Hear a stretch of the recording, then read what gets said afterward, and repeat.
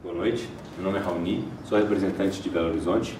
Estamos aqui no Romo Dojo em Uberlândia, nos preparando nos preparativos finais para o Festival do Japão, que será neste final de semana em São Paulo. E sob orientação de Dr. Thiago, estamos estudando é, as explicações antropológicas que sustentam as técnicas que serão apresentadas lá.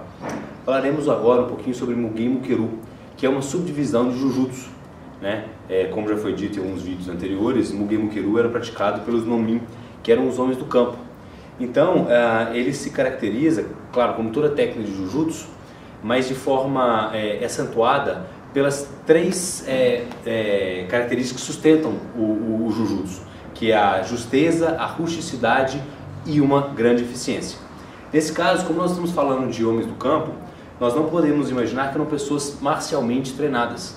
Então, nesse não treinamento marcial, eram técnicas extremamente rústicas, que se valiam nessa, nessa forma que será mostrada, nessa sequência especial que será mostrada, que é a sequência, um, um, um uma, uma movimentação dentro da sequência de Sansui, a maior arma que eles têm era a grande força física pelos trabalhos intensos em campo todos os dias. Então, nós vamos mostrar, por favor, é, essa forma que nós iremos exemplificar, desenvolvida por uma aldeia, uma tribo específica, ah, o que nós vemos é que muito provavelmente um, um, um samurai, por portar a, a, a e a tanto, se aproxima, né? E aí fazendo um saque violento e um corte.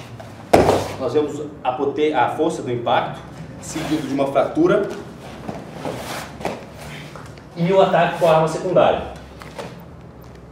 Neste caso, então, finalizando,